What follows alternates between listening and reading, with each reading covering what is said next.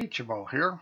Today we're going to look at what everybody claims in the forums and on the internet that putting in a user CFG file into the Star Citizen folder gives you a big performance increase and it'll just run like a striped ass ape. So, show you what I've done. I've turned off all my overclocks, CPU and GPU. I have uh, slowed down all my RAM timings, everything. Running the machine completely stock, nothing running in the background. Fresh install, Star Citizens 3.0. It will load up exactly the way it does when you first start. Nothing fancy here. We're just going to go into Arena Commander. I will show you here that everything is set just the way CIG intended. Didn't change anything. We're going to go into Arena Commander. Go we'll go in real quick. We'll check what our frame rate is with everything completely stock, machine and software both. We'll go into Dying Star here. I have double checked all these results in the PU. I've got the same results. If you're interested, it's just easier to go in and out of here to do this video. Here we are loading up. You will notice that we come out of the gate 55 frames per second. Not using a whole lot of RAM. Maybe 5 gigs, maybe 6 gigs, not much. Not taxing our GPU at all. We're not taxing the CPU. Everything's running cool, not getting any throttling. Page files a little big, but that just seems to be what Star Citizens does. I do have an older SSD from SanDisk, 480 gig. Not as quick as the new Evos, of course. But I really don't think it's going to be slow enough to make any big difference in frame rate. As you can see, 55, 60, 61, 62, flying around. This is what we're getting. Train following on the asteroid, getting warnings, too close. Just doesn't seem to affect the frame rate much. Pretty stable all around. Now we'll quit the game completely.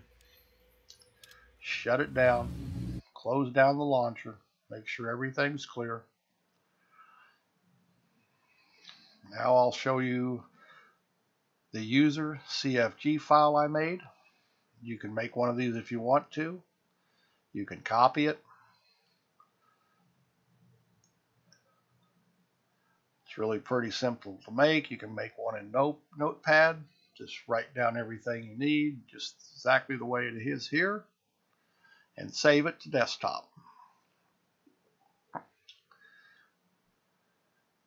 And you'll notice I added stuff in here that I I added every I added everything that everybody said this works that works. I left out a few things because they just seemed ridiculous to even put in there to me. Save it to desktop, copy it, go into your Robert Space Industries folder or whatever your whatever you assigned to Star Citizen. I did default setup, go into the live folder, right click, and now paste your config file and here it is user period CFG.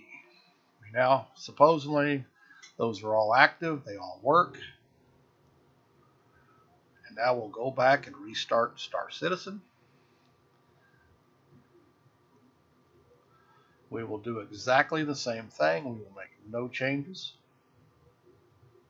And notice I didn't make any other changes on my machine.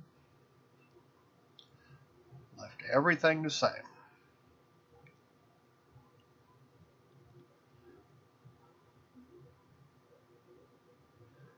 Give it a couple seconds here to load up.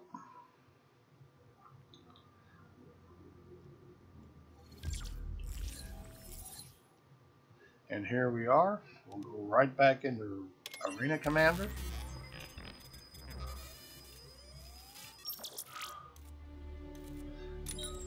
Single player. Go back to Dying Star. Load another Gladius. And we'll launch.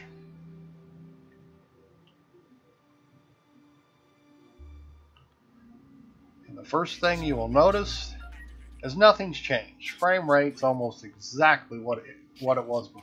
It may be a frame or two different overall, but obviously not worth the trouble. It has no effect as far as I'm concerned. This user CFG that everybody claims everybody needs to make it run like a straight path 8 is wishful thinking. It doesn't work. Frame rates are no better, doesn't look any different. It obviously doesn't hurt to use it. But if you're looking for a big performance gain by using this user CFG file, you're wasting your time. Now maybe it'll make a little bit of difference in a low-end machine, old four core or something. And it can shut everything off so you get better frame rates, but from where I'm looking at, it's a waste of time.